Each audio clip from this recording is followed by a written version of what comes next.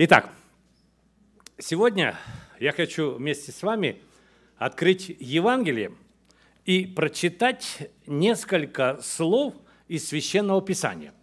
И в этом мне помогут четыре человека. Первый это будет, который здесь на экране. Это 2 Тимофея, 4 глава и стих со 2 по 4. Это будет на экране. Второй помощник Ина – Пожалуйста, на українській мові зачитай нам, будь ласка, цей вірш. Проповідуй слово, доминайся вчасно, невчасно, докоряй, забороняй, переконуй з нетерпеливістю та й з наукою. Настане бо час, коли здорової науки не будуть триматись, але за своїми пожадливостями виберуть собі вчителів, щоб вони їхні вуха влещували – вони слух свій від вправди відвернуть та до бойок нахиляться. Але ти будь пильний у всьому, терпи лихо, виконуй працю благовісника, виконуй свою службу. Дякую вам. Віктор Олександрович, дай Віктор Олександровичу мікрофон, він російською мовою зачитає нам цей вірш. Проповедуй слово, настой вовремя и не вовремя, обличай, запрещай – увещевай со всяким долготерпением и назиданием. Ибо будет время, когда здравого учения принимать не будут, но по своим прихотям будут избирать себе учителей, которые льстили бы слуху, и от истины отвратят слух и обратятся к басням. Дякую. І ще одна там людина по-англійськи зачитає, бо тут молодь, вона часом не все може зрозуміти або по-українськи, або російською. Будь ласка. Preach the word.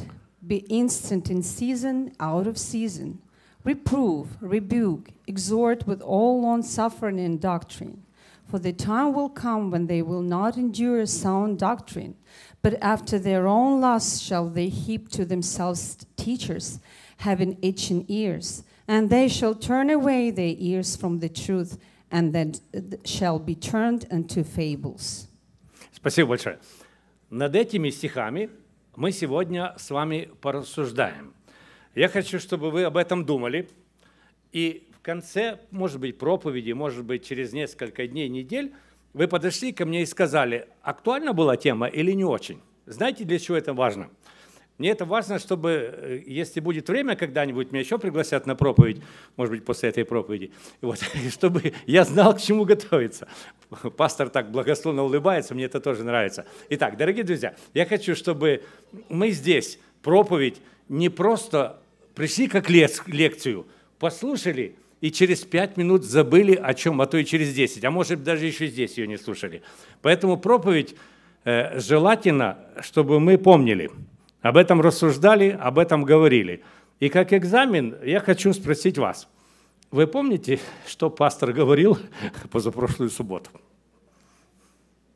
Пастор, наверное, вже сам каже, я сам не помню, про що я говорив, бо в нього стільки, ну я тобі зараз підскажу. О, Ліда знає, бо я сьогодні це читав їй, вона через то знає, ти видала сьогодні. Дорогі друзі, ми 9 сентября, потому что в прошлую субботу мы говорили о следопытах, Виталик говорил, 9 сентября пастор говорил тему «Вышел сеятель сеять». И в этой теме он раскрыл, кто есть кто. Он сказал, кто есть семя, кто есть почва и кто во всем этом мы. И я для себя взял урок из той темы. Пастор сказал, никогда хорошее семя Слово Божие нельзя сеять при дороге, на обочине фривея. По какой причине? Знаете почему? Вы помните эту? Пастор, подскажи им, почему нельзя при дороге сеять? Оно не прорастет, оно пропадет. И если даже оно взойдет, то его либо машины затопчут, либо люди, либо птицы склюют – і там он еще один был интересный пример. Він сказав таке замучене курча. Помните, як ти сказав, да, що э, выводится цыпленок, и туда бывает или ворона, или еще что-нибудь нападает, и хозяин, если увидит этого цыпленка, он заберет. Вот. Но с этого цыпленка никогда ничего не получается. Я дословно записал «придушенное курча». Поэтому как бы и вот с этого ростка, которое Слово Божье, когда оно укоренится, если оно не укоренилось, с него не будет толку никакого, оно не принесет плод. проповедь, которая говорится здесь, она должна зайти в ухо, остаться в мозгу и должна быть принята сердцем, чтобы люди хотели об этом размышлять, думать, применять и жить, как это слово учит. Еще один из вопросов я хочу спросить вас. Э, вы знаете, что находится в Нью-Йорке на одном из островов, который является символом Америки? Статуя свободы. Что это за свобода? Что она говорит? И сегодня я об этом буду говорить с вами. Хотя стих был немножечко другой. Что эта свобода говорит всему миру? Вы знаете эту поправку. We are people. Мы люди. Это люди, которые свободные, которые могут позволить себе исповедовать любую религию. Это люди, которые могут быть разной цветом кожи. Это люди, которые могут поступать, жить по свободе. И вот это сладкое слово «свобода». Никаких ограничений. Делай, что хочешь, никаких запретов. Так это или нет? Даже здесь, в Америке. Дорогие друзья, я думаю, что те, кто постарше, э, вы подтвердите, что впервые с этим такой, с такой свободой, очень сильной, мы встретились во время перестройки. Помните, когда Горбачев пришел и сказал, свобода, теперь будем жить не так, как раньше, а все буде по-другому, но быстренько поняли, что эта свобода, она порождает побочные действия. И тогда пошла новая теза – Свобода – это не вседозволенность. Мы должны что-то в этом во всем менять. И тогда начались некоторые запреты. Вы помните, какие запреты были в начале, после вот этой открытой такой свободы? Я думаю, что многие из вас знают. Пошла антиалкогольная программа. Вот даже многие говорят, что это самое, даже фильм какой-то снимали, что была борьба с зеленым змеем, да, и спрашивали, кто же победил. Ну, конечно, зеленый змей победил, потому что эта алкогольная продукция прошла в подполье, и там все продавалось, и суррогат, и всякая там бяка, но тем не менее, бяка, да, потому что сорты лучшего винограда вырубали, заводы, которые стоили миллионы, миллиарды, их перерезали на металлолом. А те, кто выпускали это все, научились и контрамарки подделывать, и там акцизные сборки, и так дальше, и так дальше. Все это прошло так и дальше. Но я говорю о том, что так, так было. Кстати, в это время, в эти 90-е годы, э, появилась группа таких молодых накачанных ребят, которые были так одеты по-спортивному, видно, не понимали по-другому. Это называлось там вымогательство или рекет, для них не было тоже никаких ограничений. Они что хотели, то делали, и, кстати, от них много людей пострадало, потому что, ну, время такое было, тяжел, тяжелые эти 90-е годы, как мы сейчас говорим. Э, я вспоминаю рассказы своего дедушки и папы, они говорят так, что они тоже хотели быть свободными, и они боролись за эту независимость, чтобы э, я спрашивав, дедушка, а що ти хотів, щоб ну, від чого, щоб ти був незалежний? А він каже: я хотів спокійно йти до церкви. Я хотів, може, там, я не знаю, може, вірити так, як, як я знав. Ви знаете, чем это закончилось для моих родственников? По 10 лет. 10 лет дали тюрьмы деду, 10 лет отцу. И вот мало того, что они отсидели, после, после срока им дали еще ссылку и они до 72 года не имели права выехать с Омска. Вот благодаря чему, или может не благодаря чему, в принципе, я и родился в Омске, потому что в 72 году мы первый раз только попали, съездили в Украину. И знаете, я когда приехал, я тогда вспомнил, что дедушка и с бабушкой, они пели песни такие, вечерком, так, чтобы никто не слышал. Э, и дословно, я был маленький, мне там лет пять было, и я помню эти слова – Хліб сухарик з водою, аби серце з тобою на Україні далекий. Я, скажу, я маленький был, но я запомнил эти слова, что дедушка с бабушкой, они так тихонько были в комнате, что хлеб, сухарик с водой, лишь бы сердце с тобой на Украине далекой. Вот. И когда я первый раз туда приехал, я действительно был счастлив от того, что мои предки жили в Украине, потому что действительно э, страна была хорошая и было, все, все там было классно. Теперешний народ Украины, я сегодня слушал, как детки молились о том, чтобы поскорее закончилась война в Украине. Потому что теперешний народ тоже переживает тяжелые времена.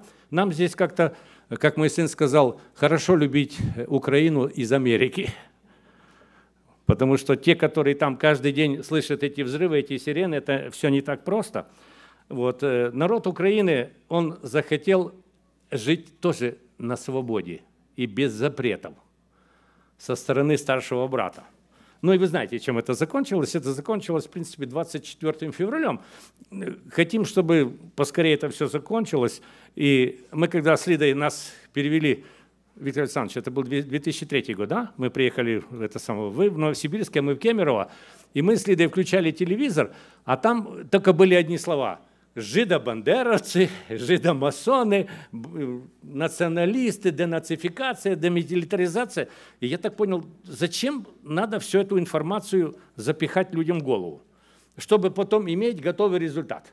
Потому что информация, она серьезно влияет на мозги. И люди по-другому просто не воспринимают. Они не хотят, как говорится, больше о чем-то даже думать. Но сегодня мы находимся в церкви. Сегодня мы прочитали этот удивительный стих, который написал Павел. Э, Мы на субботней школе говорили, что человек мудрейший, потому что его целью была евангелизм. Он хотел благую весть рассказать людям. И смотрите, как он пишет. «Проповедуй слово, настой во время и не во время, обличай, запрещай, увещевай со всяким долготерпением и назиданием, апостол Павел поручал молодому Тимофею, который только что пришел, как говорится, получил вот это особое отличие, его рукоположили в пресвитере, в служители, и Павел дает ему поручение особое. Он говорит, ты увещевай, обличай, запрещай. Э, И вот я хочу спросить вот эту прекрасную церковь. Вы любите, когда вам запрещают? Нет. Правильно, детки, супер. Кстати, я тоже тот человек, который не люблю, когда мне запрещают чрезмерно. Вот. Но Павел здесь обращается к Тимофею и говорит, ты в этом про- прогрессируй, обличай, запрещай, увещевай. Э, Мы, которые не хотели, чтобы нам, особенно там нам запрещали, мы удрали в Америку. Потому что здесь как-то более, э, меньше запрещает. Я вот хочу спросить, неужели здесь не существует запретов?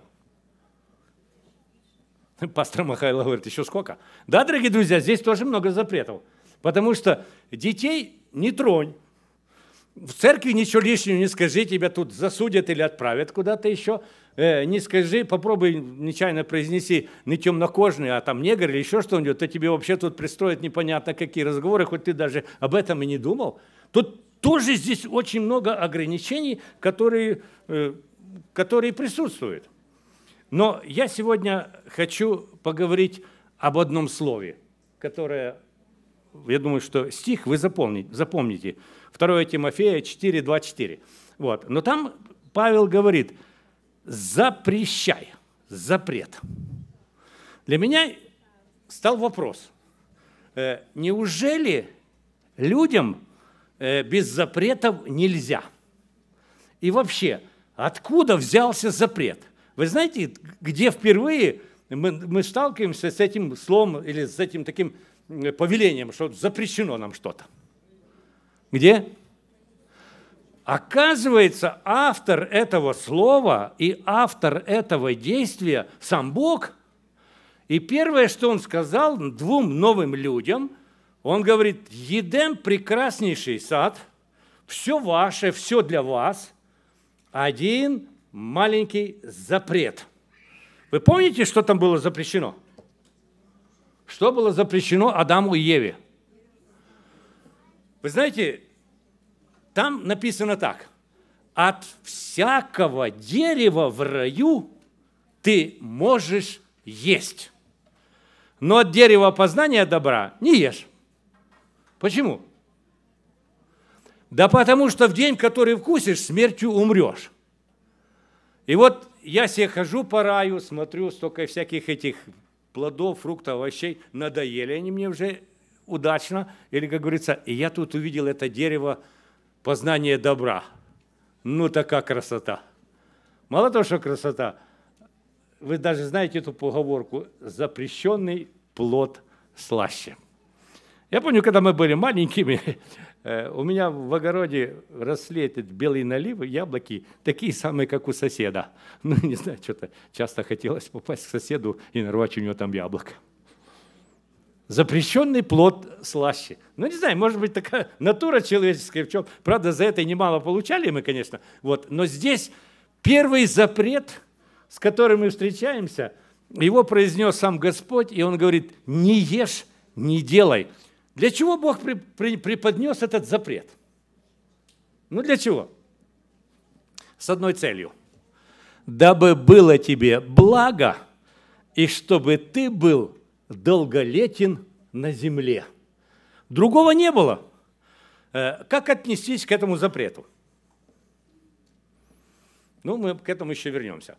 Вы, наверное, знаете о том, что у евреев э, времен Иисуса Христа было 613 тоже заповедей, и там тоже были одни запреты – не делай то, не едь туда, не ходи столько-то в этот день, не носи с собой платка, не ходи на лошади в храм, не едь. То, то они там делали как? Садились на это самое, на плавательный бассейн и говорили, мы плывем туда. То есть как бы народ э, хитрил, там что-то выдумывал. Но Иисус Христос обличал евреев, главенствующих, и Он говорит, вы столько, на, на, на, наклада, как возла, столько налагаете Э, этих неудобоносимых запретов, которые сами не можете соблюдать, да еще и мучите тех людей. Поэтому Иисус Христос э, серьезно относился к запретам. Э, давайте возьмем 10 заповедей. Сколько там запретов? Почти каждая заповедь, она говорит, не делай, не кради, не убивай, не прелюбодействуй, не лжесвидетельствуй, почитай отца и мать твою. Э, для чего? Господь еще раз, еще раз говорит, для того, чтобы тебе было благо и чтобы ты был долголетен на земле. Э, те, кто постарше, э, они вспомнят, что когда-то в церкви тоже были такие, ну, я бы сказал на сегодня, необдуманные запреты. Те, кто постарше – вы помните, что вам запрещали в церкви? Вова, тобі нічого не запрещали в церкви? Кольцо носити. От, кстати, вот це, що Володя сказав, що кольцо запрещали носити. Э, я тоже как раз, мы с Лидой поженились, и первое, что мне в совете сказали, э, ты не будешь носить кольцо в церкви. Я говорю, конечно, буду, я же в тот же день его одел. Что значит я не буду? Буду, конечно. Я знаю, что было много наших сестер, которым не разрешали э, пользоваться тенями, тушами, косметикой сделать какой-то, ну я не говорю, что макияж сделать так, чтобы там такое было 2 сантиметра штукатурки, чтобы там ничего не можно было увидеть, потому что женщины не так красивые, в этом нет смысла большого. Вот. Но за это как-то серьезно ругали и наказывали даже. Я помню, что одна сестра, которая сделала завивку, ее даже за это то ли на замечание взяли, то ли исключили, это где-то там. Вот. Но когда открылись двери благовестия, э, приехали эти евангелисты американские – и приехали с ним их жены. Бабушки такие, старенькие божьи одуванчики, но они так красиво выглядели. Они были красиво завиты, они были красиво как-то подкрашены туда-сюда. И я так понял, что нашим старшим в церкви уста сомкнулись, и они перестали нам запрещать. Потому что мы говорим о том, что запреты же бывают разные. Бывает запрет, который он имеет смысл, а есть какой-то, который на какое-то время. Ну, мы не будем много осуждать тех, хотя мы к этому еще вернемся. Вы, э, мы, постарше адвентисты, мы верили и доверяли авторитету пастора. Я помню, когда пастор старший приходил, хоть мне это не нравилось, но он так авторитетно заявлял, так, Кит, ты не будешь делать вот то, вот то, вот то. Я говорю, конечно, не буду, да, пока ты не бачишь. Вот. И на самом деле, ну, было так. А когда пришли новые люди – и наши пасторы тоже пытались им что-то сказать. И вы знаете, э, а новых людей это не устраивало. Знаете почему? Они всегда хотели докопаться до истины. Они говорили, первое, как я как сейчас помню, а где это написано? Василій, ти пам'ятаєш, коли було таке, що ти ж не одну кампанію провів. Ти так само знаєш, що до тебе підходило багато людей, і вони питали: ну, аргументируй, пожалуйста, що ти хочеш сказати. Було таке. Я знаю, что такое было обязательно, и пастору приходилось, во-первых, особо самому знать, а в других надо было рассказать, э, как сделать правильно. Кстати, вы знаете о том, что в Библии не на все запреты, вернее, не на все есть запреты. Ну, например, в Библии нет запрета, что нельзя э, покуривать соевую марихуану, там, или как называется, или там нельзя пользоваться наркотиками – вот, хотя, так честно скажу, есть один лукавый стих, который мы, может быть, можем использовать, где говорится «курение отвратительно для меня». Читали вы такой стих в Библии? Это Исаия пишет в первой главе. Но это же это лукавый стих, это вообще никакого отношения к этому не имеет. Поэтому, дорогие друзья, э, Библия нам и Павел, и Господь учит, что мы должны пользоваться запретами они имеют место в наших церквах и в наших общинах. И вот я хочу спросить пастора. Пастор, тебе приходилось делать, запрещать или обличать, что-то делать в церкви? Ну, я не говорю, может быть, здесь. Здесь у тебя все гладкие овцы такие, там, где ты раньше шел. Приходилось. А, а чем ты користувався? Вот? Значит, дорогие друзья, пастор, который делает замечания, запрещает что-то, увещевает, э, он должен это делать обоснованно. Он должен это сделать на основании Библии, на основании духа пророчества, на основании церковного руководства и на основании руководства для служителя. Потому что для этого он обучается, для этого берут его на работу, и он в церкви по-другому не может поступать. Потому что и даже стих наш, который мы читали, он говорит, проповедуй слово, настой во время и не во время, обличай, запрещай, увещевай со всяким долготерпением и назиданием, потому что будет время, когда здравого учения принимать не будут, но будут избирать себе людей, которые будут красиво избирать себе учителей, которые будут листить слуху. Но самое главное вот в чем – от истины Божьей отвратят слух и прилепятся к басням. И не к басням Крылова, как мы к этому привыкли, а к басням в религии, в баснях к спасению. И самое интересное, говорится, что здравого учения принимать не будут. Библия говорит нам о том, что если другой раз пастор делает замечание или запрещение какое-то, он пользуется еще одним средством. И это средство, или это личность, оно называется Дух Святой. Знаете, что Дух Святой делает? Библия говорит, научит, наставит, обличит и будущее возвестит вам. Поэтому, когда пастор делает какое-то замечание – Тут часто люди так говорять, ну то ти ж в Америці, ти тут не можеш це зробити. Дорогі друзі, уважаемая церковь, пастор по-другому не может. Он обязан сделать или обличение, или замечание, потому что над ним есть еще один руководитель. Это Дух Святой, который подскажет ему и напомнит, чтобы он знал, как это делать. Об этом учили Иисус Христос, и об этом учили апостолы. Они всегда говорили, уважаемые последователи Иисуса Христа, вам нужно жить по духу. Зачем верующему человеку надо жить по духу? Вы задумывались об этом или нет? Потому что когда человек живет по духу, у него не остается времени жить по плоти. Это уравнение такое. Чем больше по духу живешь, тем меньше начинаешь угождать себе и своим похотям и так дальше. Я когда еще был в Ванкувере, совершал, ну там помогал служить, э, однажды пастору задали вопрос. Пастор, а что запрещено делать в субботу? Это такой извечный вопрос.